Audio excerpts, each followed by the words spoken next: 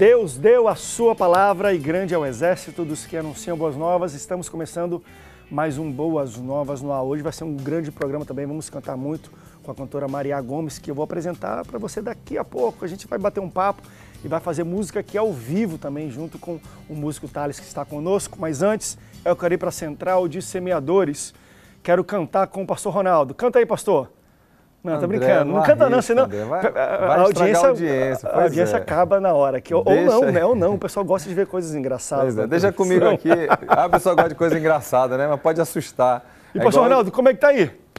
André, além de ser, sermos a central de semeadores, né, guardando sempre o nosso telespectador, tomar essa atitude de fé para semear da Boas Novas, somos também uma central de oração, de intercessão, não é verdade? Por isso que a Aline Oliveira, de São Luís Maranhão, faz contato com a gente pelo zap, pedindo oração por ela, pelo seu esposo Junho, pelos seus filhos Benício e Júlio, por toda a família. Que Deus abençoe a Aline Oliveira. E Aline, quando a gente compartilha aqui também ah, no programa, é porque também tem outros intercessores que vão se unir a nós para Deus ouvir a sua oração e operar aí na sua vida, na sua família, tá bom? Deus abençoe. Mas também quero mandar um abraço para Ariane Nascimento, aqui no Rio de Janeiro, Zona Oeste, sintonizada no 42, na Boas Novas, e também a Marlene Andrade, que descobriu a gente recentemente, sabe aonde, André? Em hum. Águas Claras, Distrito Federal. Que coisa boa, né? A Marlene Andrade assistindo a Boas Novas, está feliz aí por essa programação abençoadora. E Marlene, enquanto você vai conhecendo a Boas Novas, vai sendo abençoada, entenda também esse projeto do semeador, tá certo, minha irmã? E Deus abençoe e Deus vai te usar para você abençoar muitas vidas também em nome de Jesus. Enquanto a gente vai louvar o Senhor durante o programa, estou aqui aguardando, André, o pessoal mandar um zap, mandar um e-mail telefonar para a gente, fazer o contato e tomar essa atitude de fé, de ser um semeador da Boas Novas. Também, quem não quiser ligar, não quero ligar para vocês, não quero fazer cadastro, não quero me identificar, não tem problema, meu querido. Está aí as contas bancárias passando aí no seu vídeo durante todo o programa. Você pode semear ou também pelo site da Boas Novas e Deus te abençoe de igual forma, tá certo? Vem semear. Vem semear. Obrigado, pastor Ronaldo, todos os semeadores do Brasil. Olha, eu estou aqui na mão com o, o, CD do Missão Harpa. Esse é o novo projeto infantil da Rede Boas Novas, onde nós ensinamos as histórias e a letra de hinos da harpa para crianças. Tem tanto em CD quanto em DVD, uma história linda e maravilhosa. Aqui tem o, o meu favorito, talvez daqui, de agora, né? Porque a gente vai mudando é, ao passar o Jordão, que fala tantos como areia da praia, tantos como areia do mar. Então, é, é, contei bem demais, né?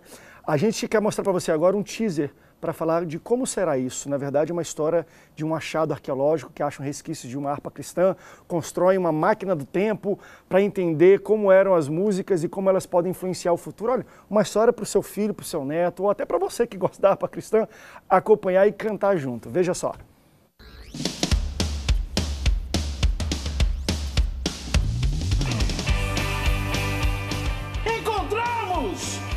Meu Deus, ela mesma!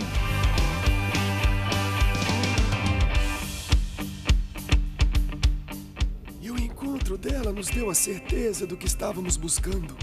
Uma prova da nossa fé. Nossa, vovô, eu adoro ouvir essas histórias. Só me faz querer começar logo nossa missão e completar esse quebra-cabeça inteiro. Ei, Theo, você tá preparado mesmo? Eu nasci preparada. Então aí vamos nós. Uou! Meu Deus! Já estamos viajando pelo tempo. Nesse grande dia, vamos poder resgatar uma parte importante daquilo que o mundo perdeu a essência do primeiro amor. Eu senti, Vini. Eu senti de verdade. Eu senti o Senhor limpando meu coração.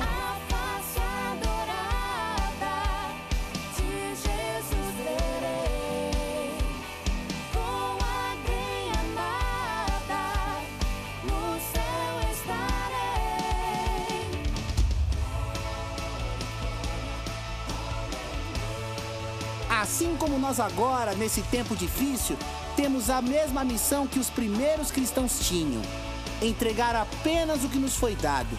O amor de Deus, as boas novas do Evangelho e manter acesa a chama para as próximas gerações. Uhul!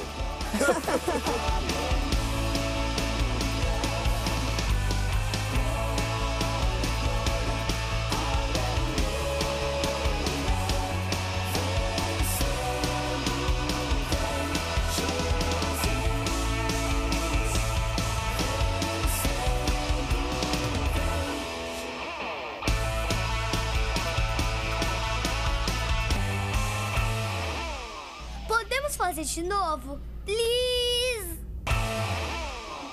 Tá aí, em breve em todas as livrarias cristãs do Brasil e nas plataformas digitais de áudio e de vídeo para você ver e ouvir com a sua família e os seus filhos. A gente vai para um rápido intervalo e na volta vamos falar com a cantora Maria. Volto já já.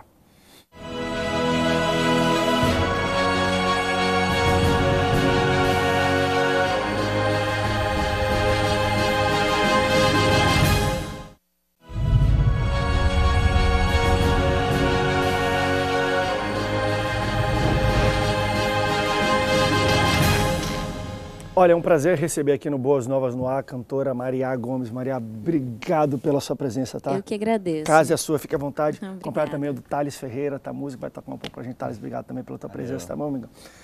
Eu não posso deixar de notar, a do, a- acho que uns dois, três programas atrás, veio o pastor Clésio Araújo, um grande amigo, e ele era o filho mais velho de sete na casa. Você é a filha mais nova Isso, de oito. de oito. Então, ele disse que era difícil para ele. Não, porque para o mais velho é sempre mais difícil.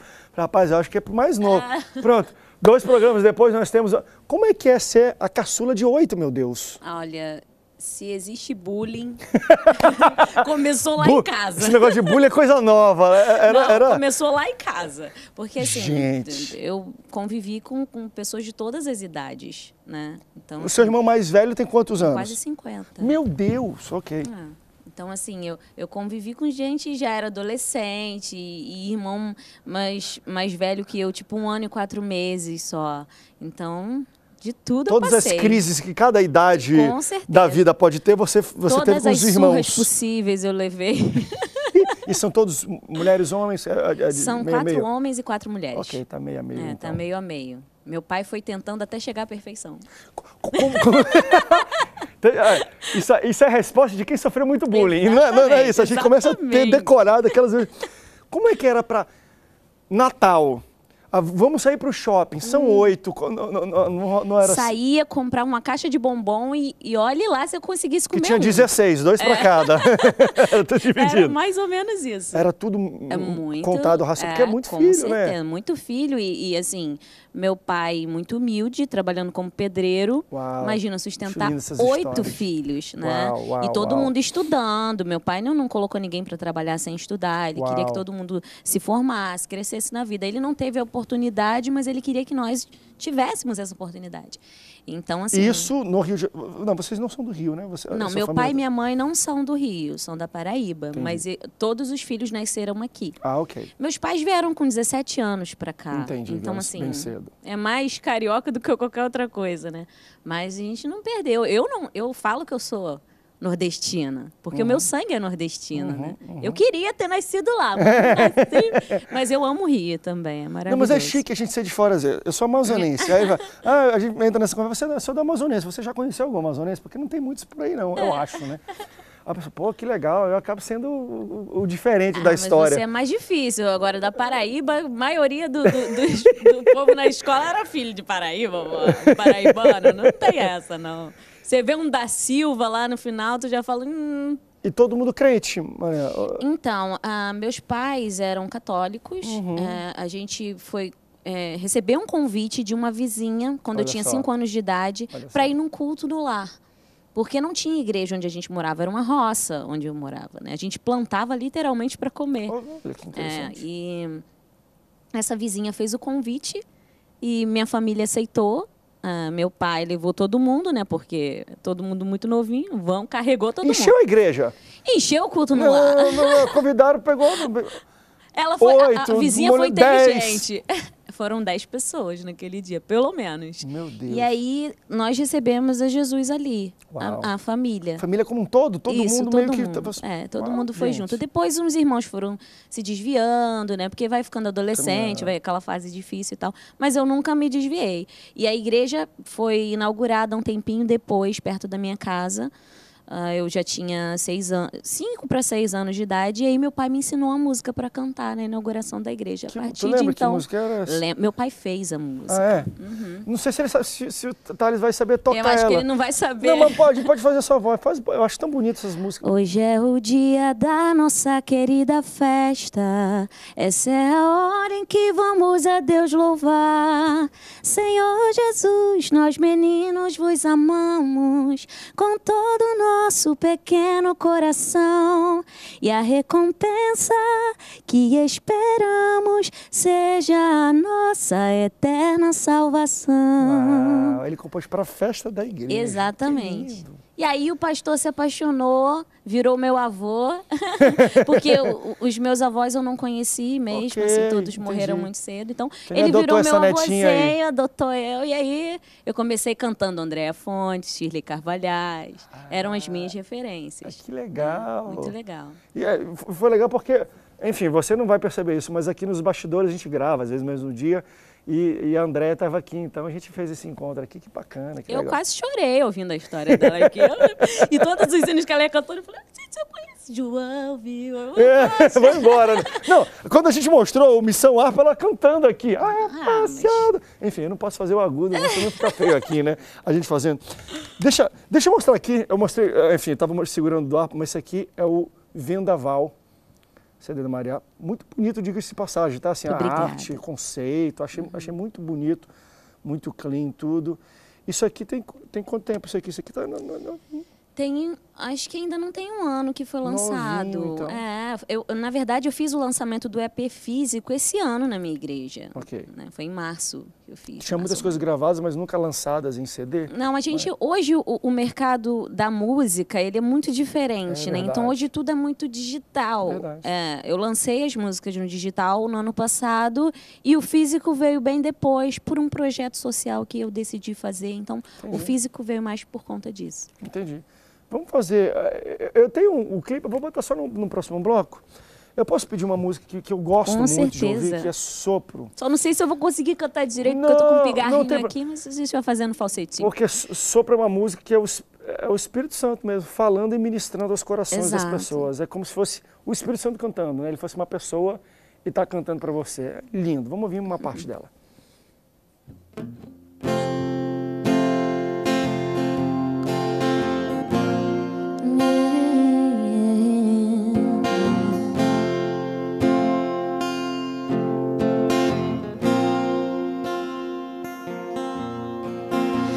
Sei quem é você, conheço teu sofrer, tenho tentado me aproximar, quero tanto te ajudar. Preste atenção, eu peço, esse é o momento certo para teu problema ter um fim. Basta confiar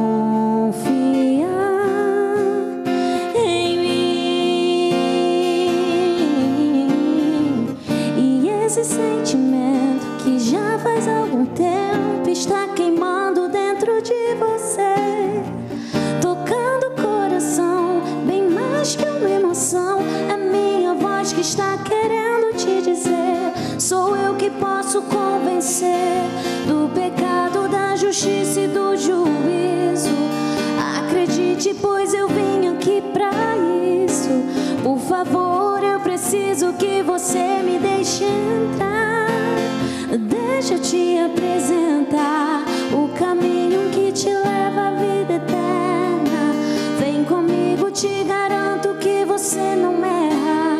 É só dizer que sim, tudo vai mudar.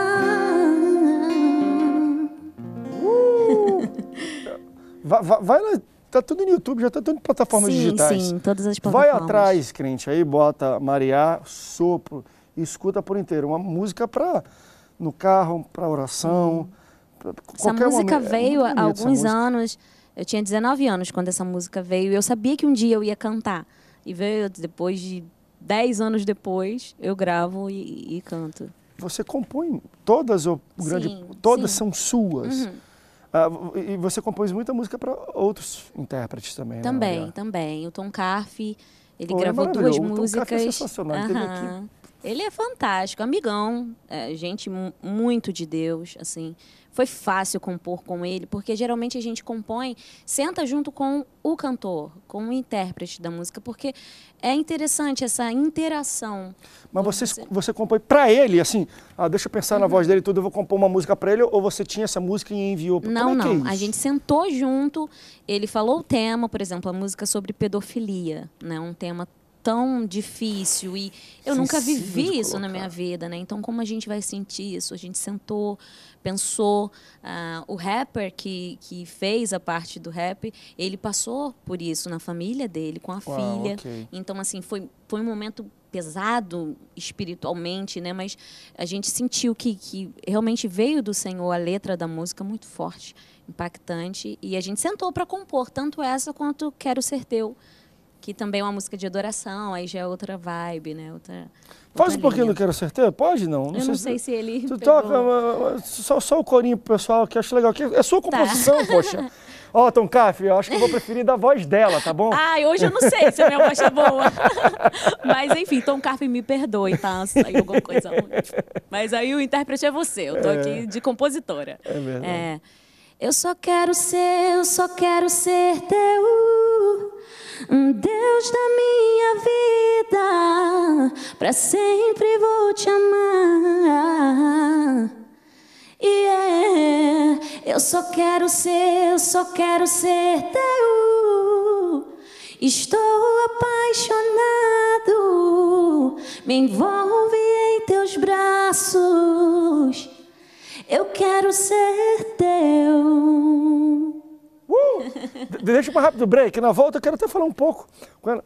Para quem eu, eu gosto muito de ouvir música, né? E conheço pessoas que, enfim, trabalham com televisão, estúdio, então a gente às vezes entende as, alguma, assim, a sopra, as suas músicas elas têm muito também de para quem gosta de qualidade de som, aquelas nuances, aquela voz fraquejando, né, no microfone sensível, tem muito disso. Por isso que você está um pouco, André, porque está com pigarro e tudo.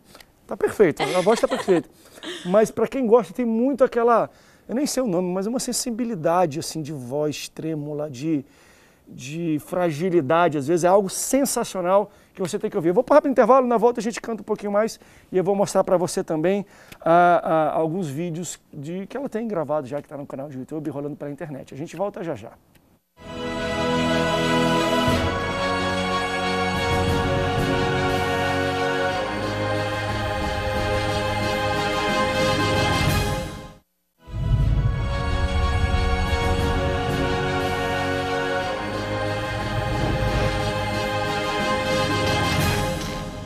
Estou de volta com a cantora Mariá. Ela já teve, já teve no espaço, a gente estava conversando aqui antes, ela estava mencionando, já teve com a gente algumas vezes aqui. E eu quero mostrar para você o- um clipe da música Asas. Eu acho que essa é a música mais bombada na internet sua, talvez. Sim, foi, foi o meu primeiro single lançado pela Sony Music. Então, é, para mim, foi um marco na minha história. Vamos ver então todo mundo junto, veja só.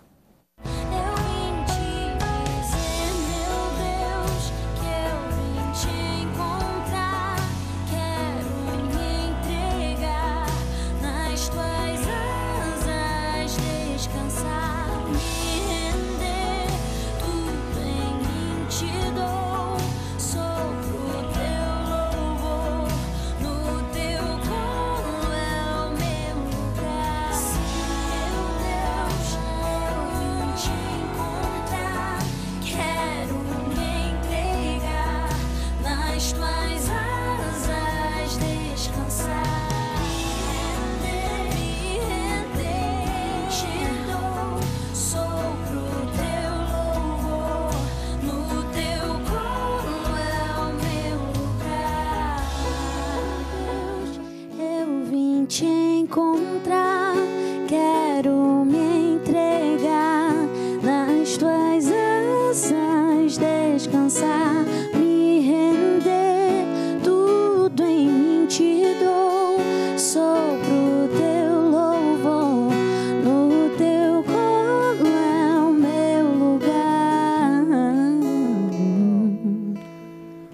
pouquinho daquilo que eu falei no último bloco. Acho que é uma coisa que você tem muito essa na, na hora da gravação de pegar todas as É, nuances. Não tem isso? Uma, uma- a voz um pouco, não sei se crua, mas assim, você pega um pouco. É O interessante. isso. drive tem muita. O pessoal fala, ah, você tem a voz rouca, né? E na verdade é um drivezinho que a gente usa. Eu tenho essa deficiência desde que eu nasci. Né? Qual a deficiência? Porque, deficiência tem o É eu, porque Maria. geralmente as pessoas falam que a voz rouca não é uma voz saudável, mas é uma deficiência mesmo congênita. Ah, desde, desde que eu nasci, eu nasci com a ferida embaixo da língua. Então eu teria alguns problemas na fala, Ah, mas. Deus curou, graças Olha a Deus, aí. e deixou essa marca, que é o Olha aí. drive. Maria. Pô, que ficou legal. ficou até, uns acho que eu achei até bonito na gravação. É, tem um pouco é, dessa e- rouquidão. E eu, eu já tentei tirar, fiz fono, tratamento, mas aí o, o pessoal fala, não tem jeito de tirar, não tem como. É, é, é sua marca, é o natural da sua voz, sai, né? E aí tem, tem as outras técnicas também, né? De falsete, a gente procurou usar tudo muito, é, ao mesmo tempo deixando a música clean, né? Porque a, a ideia, tanto na capa do, do EP, como em tudo, é, é de um disco bem clean, onde a mensagem da música fosse evidenciada. Para quem busca Maria no YouTube, vai ter vários vídeos e tudo, mas tem um encontro que eu achei também muito, muito interessante, de uma parceria sua com o DJ, Marcelo. com o Marcelo, Aham. né, do Gospel Night.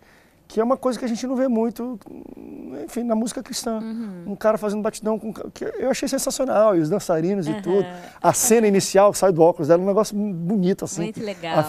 É, como é que foi isso? Que, que veio essa. A, a música é sua. Sim, eu fiz especialmente pro, pro Gospel Night. Ah, então tu já fez pensando na batida, né? Exato. A, a música a gente é, gravou esse remix porque na verdade a música é pop rock. Mas eu nunca lancei ela pop rock. Eu lancei ela já no, no remix e ficou. Foi o que ficou, porque já virou a marca da música. Né? A tua marca de música é o quê? Tu gosta de pop? Eu gosto de pop, é, de, de worship, né? A, a vibe que eu, eu, eu. Na verdade, eu já fiz CD de hip hop, mas nunca lancei. É Eu, mesmo? eu gosto de cantar tudo. Canta uma parte de hip hop, mas você mesmo fazendo. É, é cantado, Aham. né? É tipo assim, 30 palavras por minuto, né? É assim? É, é Ah, muito- faz um é. pouquinho. Por exemplo, a música Pedofilia. Na verdade, eu lancei uma música com Hum. uma parceria antiga Uhum. de uma menina que o nome da música é Ordem e Progresso. Que a Uau. gente lançou na, na época daquelas manifestações de Poxa, 2013. tá, tá atual ainda. É, como é que é? Deixa eu ver. Porque tem, tem uma parte que é a parte do rap que a gente canta. Fim da pátria armada, nada mãe, também nada gentil. Desordem, regresso, processo do terceiro mundão no Brasil. Poucos com muito, muitos com pouco, outros muitos com nada. Todos contra todos, morrendo aos poucos em golpes de socos e facas. E isso aqui, eu tô falando lento para vocês entenderem a mensagem da música. Mas era, tipo, muito rápido a gente tentando Uau. cantar isso. É, era, é uma vibe muito diferente do que eu faço hoje. É forte. legal, é muito Tá- tá na legal. internet também Tá ela? na internet, como é, tá em inglês, porque o produtor que fez é veio dos Estados Unidos, então ele colocou a legenda do, do vídeo em inglês, ordem e progresso. Não sei como é que fala ordem e progresso. Order in progress. É, yeah! é isso aí. Ah, faz uma... Deixa eu ver, a gente cantou aqui o sopro, a gente fez asas. Vamos fazer mais uma daqui do. Ou não? Vendaval, me recuso. Pode, é, pode ser vendaval. Eu só Vendaval? não sei se vai sair por conta da voz meio rouca. Poxa. Não rouca de, do rouco natural, mas é porque eu, eu vim com um pigarro pra cá, André. Não, Vitor, tu tá- mas, ah, o negócio vamos sai fazer, aqui, vamos o fazer. negócio sai Quem aqui. sabe fazer ao vivo, né? Ah, e a gente já está terminando, é isso? Já acabou o programa, meu Deus. Poxa. Então, não, deixa eu dar o tchau para ela e a gente termina cantando, pode ser assim? Pode ser. É, obrigado. Poxa. Deus te abençoe, tá? Continue te Eu levando para novos lugares, que Deus eu leve a sua música para lugares que você nem imagina, Amém. tá Eu bom? agradeço muito. Meu irmão, obrigadão, Thales, pela tua presença aqui, tá bom? Muito obrigado pela sua audiência, Deus te abençoe e a gente vai terminar com Vendaval.